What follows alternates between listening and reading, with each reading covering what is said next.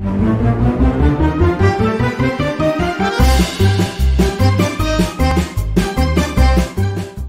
it's a very uh, good opportunity for children to express whatever they feel, and uh, I really liked.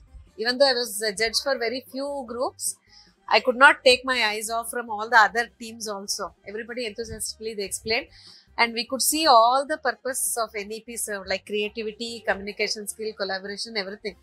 Because when the uh, teams were divided, uh, for, for example, 23 A and B, for one judge they explained a group explained for the other one b group. They only said okay you explain to them. I'll explain to this uh, judge like that. And in between if the prompting also and i asked some of the like questions also like how it happened? How did you do? So they were able to answer.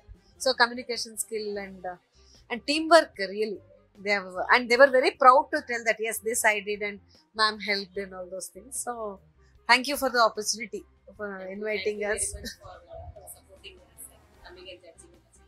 It's really a great motivation for our children also Yeah. and and it's a difficult task ma'am. Everyone needs prize. Everyone deserves prize. A difficult task uh, to judge. But very well organized. I think a lot of hard work and effort has gone in. So really appreciate it. And thanks for the opportunity. Thank you